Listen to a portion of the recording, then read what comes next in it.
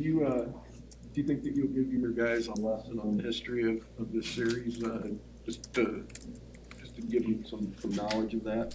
You know, around Nebraska, you don't have to tell people much because everybody hears everything. So um, I'm sure the guys will be hearing about it. Uh, we'll probably talk about it a little bit. This is a special rivalry, um, but I- I'm sure the guys will be inundated with this with it this week. Do you have a favorite Nebraska-Oklahoma game as a kid?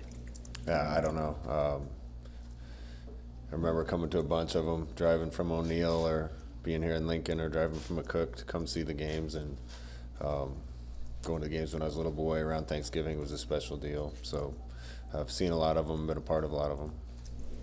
After the game, you talked about that sort of pace running game, wanted it to take off a little bit more. When you kind of watch the film back, how much of it's, you know, the trenches stuff and how much of it's the running backs, a combination? What, what's your Yeah, feeling? it's a combination. I, I just say we got to be a, a little more consistent. It's one guy here or there on some plays. It's missing a hole on another play. Um, and they and they had the box packed, so it made it a little tough. But we still need to be able to um, pop pop a few more of those, and uh, it's got to be a collective effort. Um, tight ends, running backs, offensive line, receivers. Did you like what uh, Gabe showed uh, second half, kind of popping off some runs? Yeah, he, he, thing I like the best is he looked like he was running with a little bit of attitude, like uh, like he was going to make it happen. He was going to find a hole and get us yards, and uh, we need an aggressive attitude, in, including in the running back room.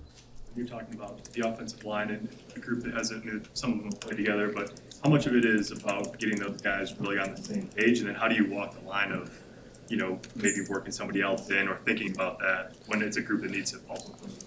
No, we got to grow as a unit, and that unit might be five guys, it might be seven guys, it might be eight guys. Um, we're going to put the best guys out there. If we need to rotate, we'll rotate. Um, more than anything, I think they need to stop thinking as much as they're thinking and, and just come off the rock and, and move people. But again, it wasn't all the offensive line. We missed a few cuts. Uh, tight ends missed a couple times. We had would have had some bigger runs, and receivers missed a couple times. So uh, it's a it's a group uh, deal, and um, was good enough to win Saturday. But we got to keep getting better. Has Teddy Prochazka worked his way into a conversation of playing more? Yeah, Teddy's uh, Teddy's in the conversation. Um, he's improving every day, and he's got a, a big upside. So uh, we'll see how quickly we feel like he's ready to uh, go in and contribute. What did you think of just the way he came in, his attitude, not only in high school, but once he got here, of, of just the way he plays? Yeah, I couldn't believe how big he got, how fast he got uh, big when he got here. Um, really athletic for his size. Uh, he's learning. Um, hopefully, it comes around sooner rather than later. How do you manage the four game then with him? Do you, do you just kind of take it one game at a time, then at- after four, you have to kind of make a decision? Yeah, um, with some guys, you know, we're going to hold the four games. Other guys, uh, we're going to play them as we need them and make a decision as we get closer to the four games. The receiver tight end depth was getting tested Saturday. Do you feel like some of those guys could pop back in this week? Or? Yeah, I hope so. Uh, we were down a bunch of uh, bunch of guys. Honestly, a bunch of our best players on Saturday. You looked up in the third quarter, and Oliver and Omar and Austin and Xavier and Travis, and none of those guys were playing. And thought the guys that came in uh, did a really good job, played hard. Uh, but those are some of our most talented skill guys, and we need them back. So uh, I know they're working hard to get back on the field. Could you could you say what the deal was with with Austin? Was that a head situation? Yeah, he landed his head a little bit on the turf and got a little dizzy, and um, hopefully he recovers quick. Generally speaking, by what point in the week do you kind of want to know who Adrian's going to be throwing to, or do you take that all the way up till kickoff? I mean, you want to know on Monday, um, but sometimes you don't have that luxury. We want guys to have practiced if we're going to play them, and uh, there's some unique circumstances where you have veterans that have been there, done that, and if you get them back at the end, that's probably good enough. But guys need to to train uh, in order to perform well, and um, we want them back as soon as possible. Well, Preston will limit a little here, I know, but is any, are any of those guys ruled out? No. Hey, Scott, uh, kind of going back to managing red shirts and so forth, when, when, when you're making the decision, when, when the guy's approaching four games about whether to keep going or to stop, uh, how much, how do you manage that as far as, how much do you talk to the player about that? How much input is his, how much input does he get into that decision? Yeah, if the decision's easy, uh, there isn't much of a conversation. If the decision's a little harder, um, we involve the the player and, and sometimes the player's family too to decide what they want to do if we get to that point. But most kids want to play, and if they're going to get significant time, uh, they want to play. Uh, if it's going to be a play here or there, it, it's probably not smart to to use up the year. How much of a difference can, can Travis make for you when he does get back in the run game? Because he's got a reputation for being a good, good blocker. Yeah, we, we get spoiled with guys like Austin and, and Travis, and um, I thought that again those guys that, that played battled. Chris has been playing a little bit hurt too, um, and then we're playing uh, you know Boerkircher and and Chancellor Brewington that just moved positions. So uh, I can't say enough about the job that those guys did, but we're looking forward to having our guys back too. Scott, at, at receiver, if you have to look at, or if you're going to look at some younger guys who haven't necessarily been running your stuff in practice, to then say, you know, come up and, and, and give us some depth, add some depth, we might need you this week. Is that, is that a transition those guys can make in one week if needed? Yeah, I mean that, that experience helps, and so uh, and it, we've already been playing some young guys to play more young guys. Uh, you're just gonna be playing more guys without experience, but uh, if we get to the point we have to bring somebody up, we will. I think there's several guys that are ready, and uh, we'll see how the health and depth work out this week.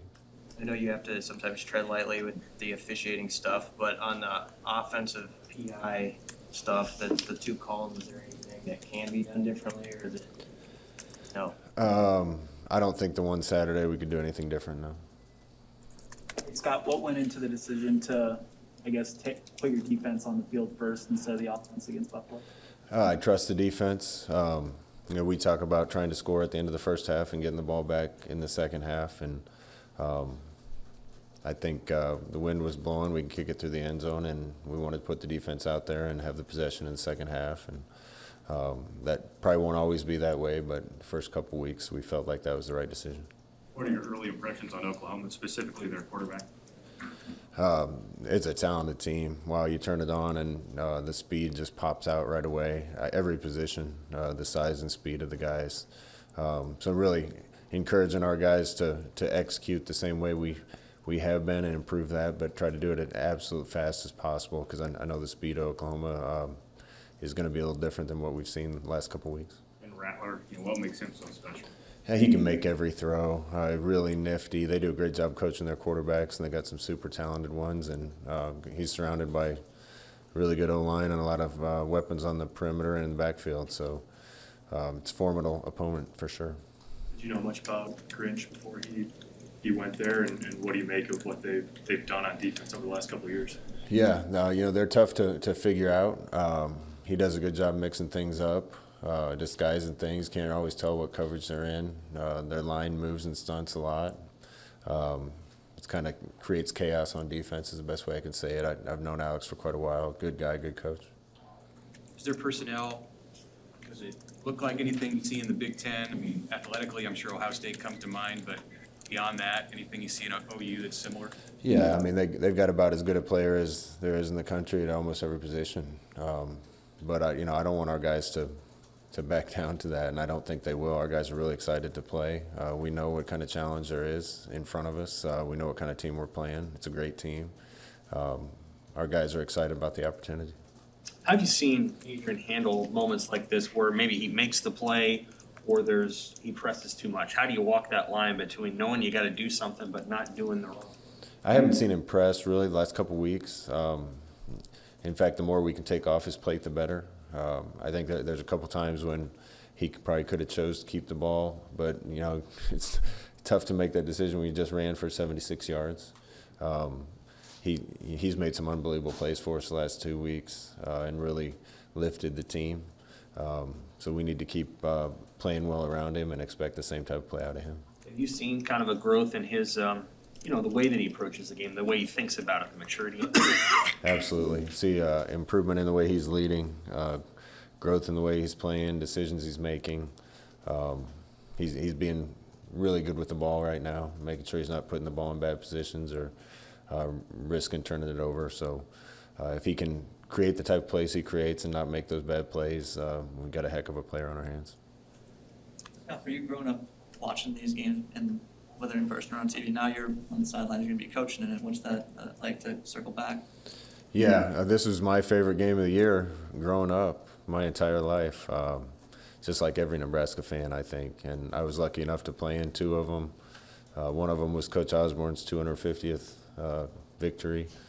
Um, one of the best rivalries in sports. It, uh, it's kind of a shame it went away, uh, but it, it's going to be special to be a part of it in a different role. Does it feel weird to say this would be an SEC Big Ten matchup in a couple of years from now? Yeah, uh, I don't want to get into all that.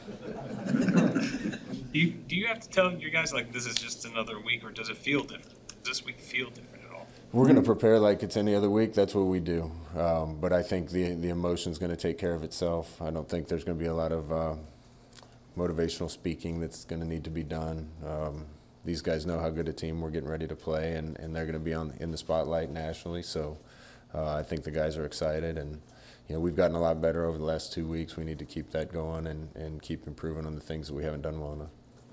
Special teams take on even more added significance when you play a- an opponent like this. Absolutely. Um, you know, turnovers and special teams. If you're going to beat a team that's uh, really talented, you gotta you gotta probably win those. Um, make a big play on special teams. Get a turnover here and there. Um, we'll see if we're up to the challenge. Other questions for Coach? Thanks, guys. Thank you.